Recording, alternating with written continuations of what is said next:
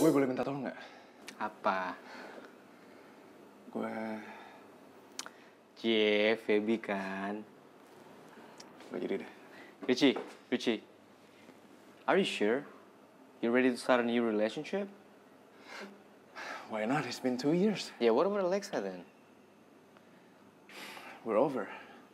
Daddy Max.